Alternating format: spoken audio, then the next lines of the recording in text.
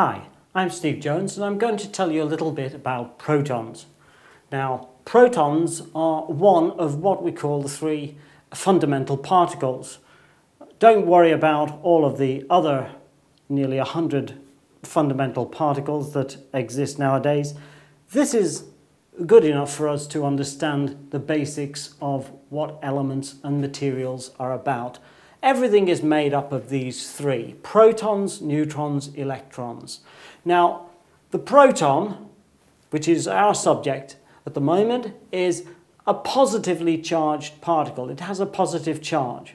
There is a negatively charged particle, the electron, but we're interested in the proton at the moment. And the proton is very important because all matter is based on the number of these that it contains. So for example, if I'm looking at a proton, I've got to get an idea of the size. How big is it? Now an atom, here is an atom, consists of a nucleus in which there are protons and neutrons and a surrounding area in which there are electrons. Now here's an idea of how big it is. There's two lines and there are 100 million atoms between those two, end to end. Atoms are not big. And what is more, the proton in the middle of this atom actually only takes up something like one ten thousandth of the diameter of the atom. So protons are very, very small.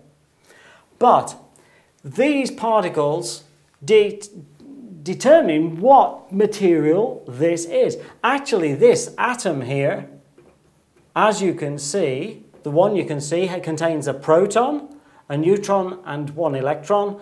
This atom actually is hydrogen, although it's a special kind of hydrogen called hydrogen 2, which is also called deuterium, and is heavy hydrogen. It exists naturally. You can also have ordinary hydrogen, which doesn't have this neutron. But that gives you an idea of how big the proton is.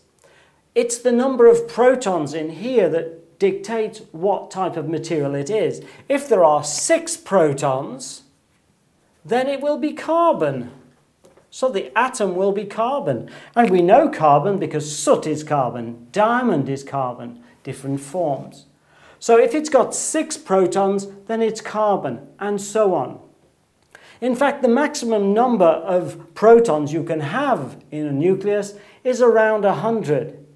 Any more than that and the thing just falls apart far too quickly. Even if it has 100, it's still not very stable and doesn't last long. In that case, if it's not stable, we say it is radioactive. So protons exist in the nucleus. They are very, very small and they dictate, they tell us what kind of material we are dealing with.